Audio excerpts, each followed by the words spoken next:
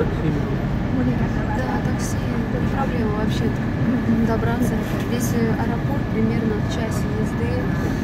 А, вот можно спокойно на такси доехать. Ну, нет, 300 долларов это какой-то в Колумбу.